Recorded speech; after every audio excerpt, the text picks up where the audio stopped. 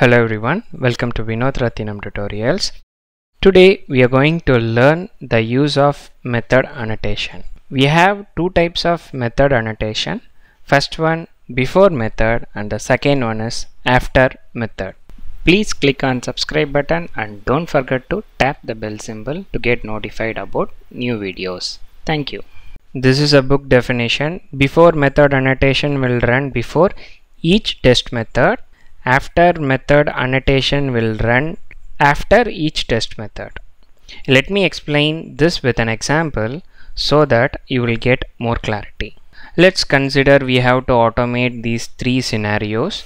The first scenario launch the application and then navigate to contact us page and finally close the application. In the second scenario we have to launch the application then navigate to course fee then close the application. And the third scenario is launch application then navigate to request demo and finally close application.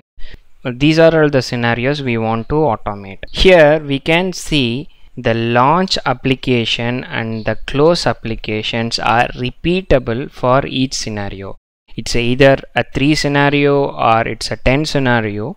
The launch application and the close application are the common methods so instead of coding this method again and again, what we can do is we can code it once and use it again and again, which can be done using method annotation. Here, navigate to contact us, navigate to course fee and navigate to request demo or test annotation method. Then the launch application and the close application we can use before method and after method. The launch application will be executed before each test method and close application will be executed after each test method. First let me show the coding part of this. Without selenium implementation once we complete it i will execute with selenium coding.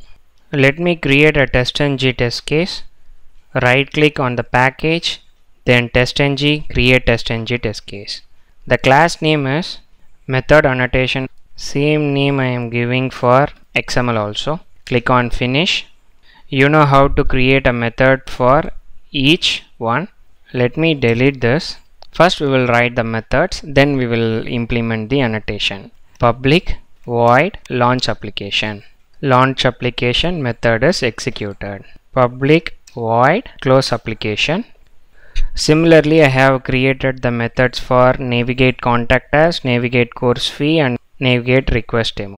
Five methods we have created and we know very well these three are test annotation method at test. These three are test annotation method. Now we are going to make this launch application as at before method when you make it at before method we will get the warning symbol then import before method test annotation.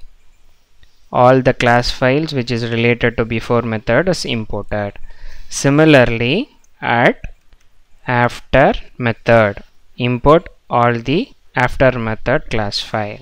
As per the requirement what we have done is we made launch application as before method close application as after method. Now these three method will be executed but I want to execute in a sequence so I am implementing the priority priority equal to 1 this will be executed first priority equal to 2 priority equal to 3 now we will execute and see how this particular code will work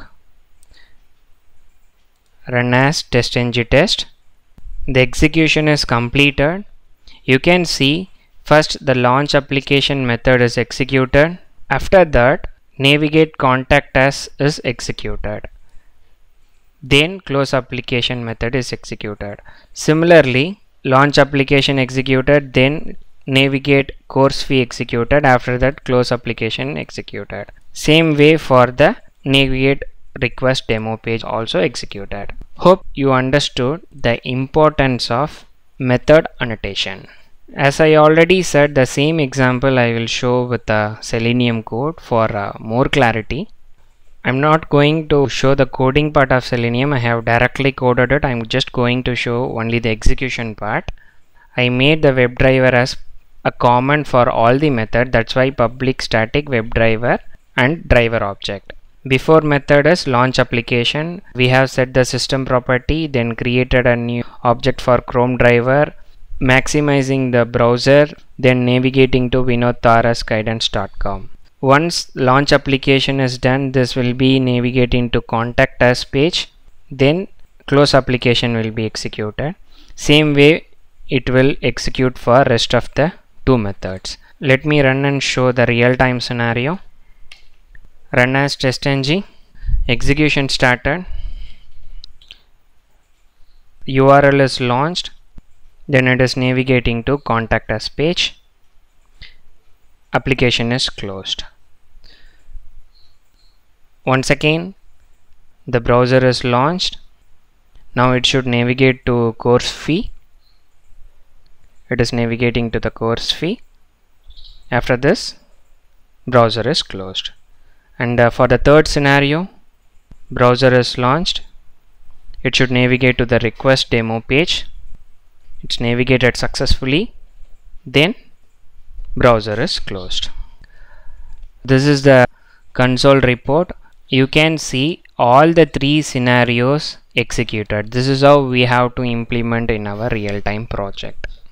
And uh, we didn't code launch and the close application multiple times just we have used at before method at after method. That's the big advantage of using the annotation. Hope you got an idea about method annotation. Same way we have various annotation which we will be seeing in the upcoming session. That's the end of today's session. In case of any clarification please post your comments or mail me. Thanks for watching. Happy learning